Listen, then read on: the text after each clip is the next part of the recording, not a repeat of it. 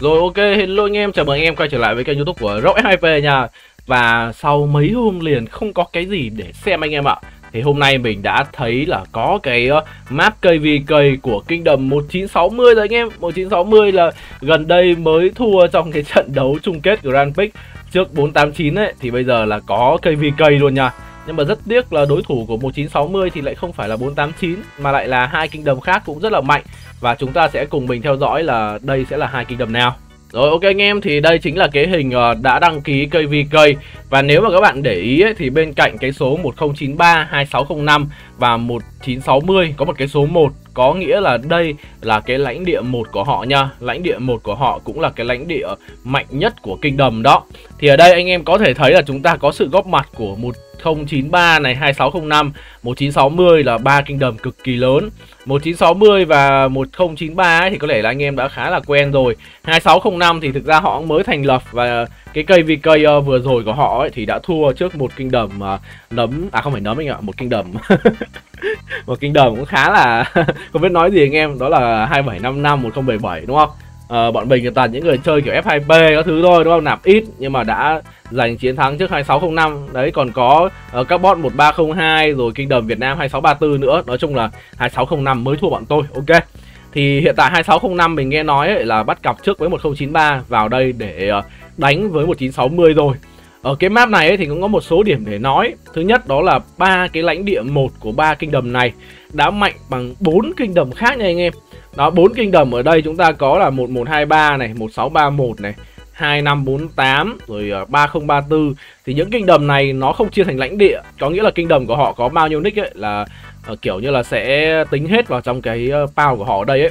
Ở đây thì có một kinh đầm cũng khá là quen với mình, đó là kinh đầm 2460. 2460 thì đã đánh với ờ, uh, KVK của 2755 ấy, đợt có 1921 thì đặc điểm của 2460 đó là họ cũng bình thường anh em, nói chung là họ không mạnh. Tôi nói luôn là họ không mạnh họ rất là bình thường. Nên là những kinh đầm này có lẽ là cũng ngang ngang cỡ 2460 thôi. Thì bây giờ chúng ta hãy cùng xem qua về ba kinh đầm lớn trước hai anh em. Bắt đầu với 1093 Rồi 1093 thì thực ra họ rất là nổi tiếng với việc họ có nhiều clan đấy Nhưng mà với việc mà game hiện tại phân chia thành ba lãnh địa Thì chắc chắn là cái điểm mạnh đó của họ sẽ bị hạn chế đi rất là nhiều nha. Tại vì bây giờ, ví dụ các bạn mang toàn người chơi chính vào ấy, Thì ạc phụ vào sẽ ít đi. Mà lấy ạc chính đốt với ạc phụ thì chắc chắn là một cái điều mà nhiều anh em sẽ không thích lắm, đúng không? Thì ở đây mình thấy là clan đang nắm đền thờ thất thủ là 93P với một liên minh là 12 tỷ tư, quả 39 và có một mặt trăng nha anh em. Tuy nhiên thì cờ lan chính của 1093 phải là 93T cơ. 93T thì uh, đây là 93L này. 93L hiện tại sức mạnh cũng 12 tỷ 3 Đó quả 41 rồi nha các bạn. Ghê chưa? Nhiều liên minh mà liên minh quả 41 rồi liên minh quả 39 Thành viên 151 thành viên này. Đó. 93 cam này chắc là 93T chăng? Đây 93T đây anh em. Đây mới cờ lan chính. Cờ lan chính hiện tại là quả 42 Đợt vừa rồi thì 1093 cũng win all cái cụm đầu tiên luôn Cũng là một cái thành tích rất là đáng để với họ. Và hiện tại họ có cái lá cờ uh, all này luôn nha anh em. Nó sức mạnh 14 tỷ mốt Rất là mạnh nha. Ba clan rồi Và trên này thì uh, chúng ta còn một cái clan màu đỏ nữa là 93D 93D thì ờ, uh, 10 tỷ 93D 10 tỷ qua 31 thì mình đánh giá cũng đâu phải là clan phụ đúng không? Tầm này mình vẫn đánh giá là clan chính chứ. Trông người chơi pao thì khá là thấp Tại vì họ phải hạ pao như này mới tuyển quân đấy anh em. Chứ còn kill point của họ thì mình nghĩ là cũng khá là chất lượng đấy. Đó, những cái nick như thế này, ôi không phải nick này anh em. Nick 48 triệu bao đấy hơi lỏ đấy. Những cái nick như thế này mình đánh giá là cũng ok đúng không? Cũng là một ờ, uh, đầm, một cái liên minh. Như ở cái uh, liên minh ờ, uh, 93D này mà ở một kinh đầm khác thì cũng hoàn toàn có thể là liên minh top 1 rồi. Nó rất mạnh nha anh em, mình thấy sơ sơ là bốn liên minh chính đi. Còn ở ngoài thì không biết có liên minh nào nữa không uh, mình sẽ đi qua tiếp với kinh đầm tiếp theo là 2605 Đấy, 2605 thì thực ra ờ, sau cái đợt cây vi cây với mình ấy họ cũng dính phải một số cái drama. Mình cũng đã làm video rồi anh em có thể uh, xem lại bên kênh youtube thứ hai của mình là kênh Dũng Rốc nha. Nó Dũng ROK cho anh em anh em cứ tìm trên youtube là ra. Thì cái drama của bên SW ấy đó là sau khi kết thúc cây vi cây với bên mình ấy thì bên này cũng có rất là nhiều bot bay đi. Nhờ có người bay đi thì cũng có người bay về thôi ở đây thì sức mạnh của họ hiện tại đang là 17 tỷ với chỉ một liên minh và đang có quả liên minh là quả cấp 38 nha. Bên này nạp cũng rất là dữ nha anh em. Cái đợt đánh với mình ấy họ mới có quả 36 à. mà bây giờ đánh xong với mình họ lên quà 38 còn bên mình là quà lúc đầu là bên mình quà bao nhiêu ra lúc mới đánh với họ ấy là bên mình đã quà 33 rồi 33 khoảng ờ, uh, 50 mấy nghìn điểm ấy 50 mấy triệu điểm chứ hiện tại thì lên được 69 triệu điểm anh em họ lên được hai cấp quà còn bên tôi lên được khoảng uh, 5% cấp quà anh em ạ. Là các bạn biết là bên họ nạp gọi là dữ dội cỡ nào rất khủng khiếp nha. Đó bên này thì có ông Zoda. Ông Zoda này thì quá nổi tiếng rồi. Đây từng là người chơi mạnh nhất game. Hiện tại thì mình cũng không chắc nữa. Hiện tại chắc Maverick đang là cái nick mạnh nhất rồi. Hiện tại Zoda còn có một tỷ mốt sức mạnh à. Thực ra nghe câu còn có một tỷ mốt nghe nó cứ hơi sượng sượng ha. Có mỗi một tỷ mốt điểm sức mạnh trong Rise Kingdom thôi mà. Quảng cáo người ta để có 5 triệu sức mạnh ông này một tỷ mốt. Ông này phải bằng ờ, uh, 200 lần cái quảng cáo đúng không? sức mạnh tối đa 1 tỷ 8 nha anh em chết 298 triệu. Đây nói chung là bot này là một bot uh, cực kỳ khủng 20 tỷ để tiêu diệt. Mùa trước Zoda cũng tiêu diệt là 226 triệu này Và chỉ chữa lành có 95 triệu thôi. Là các bạn biết là mùa trước 2605 đánh với bên mình kiểu bón hành như thế nào ấy. Kiểu bên mình toàn mấy ông F2P với nạp ít. Ở bên này họ nạp rất là gớm nha anh em Toàn nick khỏe. Bay đi cũng nhiều nhưng mà bay về cũng nhiều. Lý do là các bạn biết đấy Với lượng rương vàng như vậy thì chắc chắn là sẽ luôn thu hút được người chơi về. Có thể không thu hút được cá voi Nhưng mà sẽ thu hút được những cái ờ, người chơi mà thích hit rương đúng không? Thích đánh nhau. Tại vì càng thích đánh nhau thì các bạn lại càng cần nhiều rương. Càng nhiều rương thì các bạn chỉ cần lo về mặt tài nguyên thôi. Ờ, Dàn nick của họ rất là mạnh nha. Đó hai kinh đâm chúng ta vừa soi sẽ là hai kinh đâm mà, mà chuẩn bị đối đầu với lại gọi là kinh đầm mạnh nhất và kinh đầm thì liệu có đúng không anh em? 1960 hiện tại có phải kinh đầm mạnh nhất game không? Tôi nghĩ là mạnh nhất game chứ đúng không?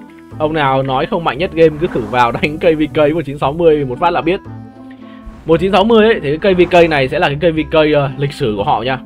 Tại vì hiện tại họ đang có một cái thành tích cũng rất là đáng nể. Đó là 1960 đã win thông 9 kỳ cây VK Và chỉ cần một kỳ cây VK nữa win thôi 1960 sẽ chính thức có cho mình một cái vương miện trong game. Và có lẽ sẽ trở thành kingdom mạnh nhất game, đúng không? Thắng cây VK này nữa thì liệu còn một cây VK nào mà 1960 có thể thua? Trừ khi là chính những bot của họ nghỉ game để cho họ tự thua. Chứ nếu mà KVK này họ vẫn thắng thì chắc chắn là họ là mạnh nhất game rồi, Không còn gì để bàn cãi. Clan của họ chỉ có 19 tỷ 8 điểm sức mạnh. Thực ra tôi dùng từ hơi nhầm các bạn, chỉ có là hơi sai. Không, mà thực ra nếu mà tôi nói là chỉ có ấy, Có nghĩa là ờ, so với phía 1093 đúng không? Là bốn liên minh. Rồi ờ, 2605 một liên minh. Còn ờ, 60GT hiện tại là một liên minh nha 60MX thì hình như là bây giờ ừ, không có ai mấy sao ấy. Để xem nào. 60MX thì 8 tỷ 5 8 tỷ 5 mà các bạn có thể thấy là toàn nick phụ thôi.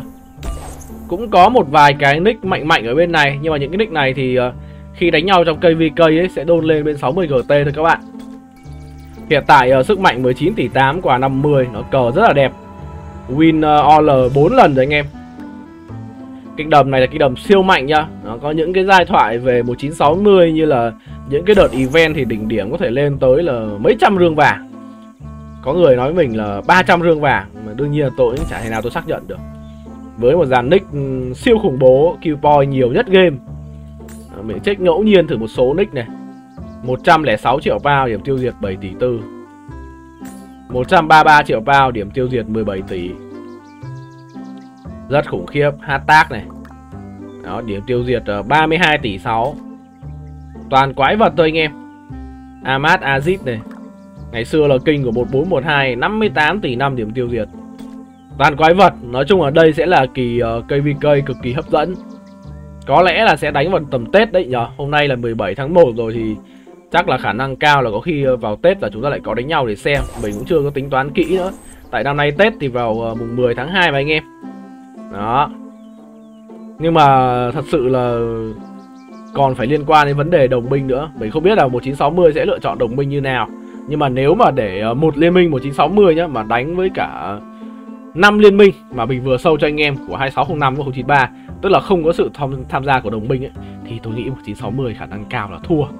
Không biết anh em nghĩ thế nào? Nhưng mình nghĩ là khả năng cao là thua ấy đúng không? Người ta câu là ba đánh một không trột cũng què Còn đây là tới 5 ông cơ mà. Đó, mình thật sự là mình đang rất là hào hứng với kỳ KVK này và mình cũng đang rất là hóng cái uh, bắt kèo đồng minh. Chứ còn ờ, một đánh hai kinh đồng thì nói chung là rất là khó anh em. Mặc dù là đã có cái sự trợ giúp từ lãnh địa ấy nhưng mà tôi nghĩ là 1960 sẽ là một trong những kỳ KVK uh, ờ, khó khăn nhất của họ. Ok anh em, và có lẽ mình sẽ kết thúc video ngày hôm nay ở đây thôi. Các bạn hãy thử bình luận phía bên dưới là theo anh em nghĩ 1960 đối đầu với 1093 và 2605 thì liệu bên nào sẽ giành chiến thắng? Rất mong nhận được những ý kiến phản hồi từ anh em và cảm ơn các bạn đã theo dõi hết video. Hẹn gặp lại tất cả anh em ở những video sau. Bye bye.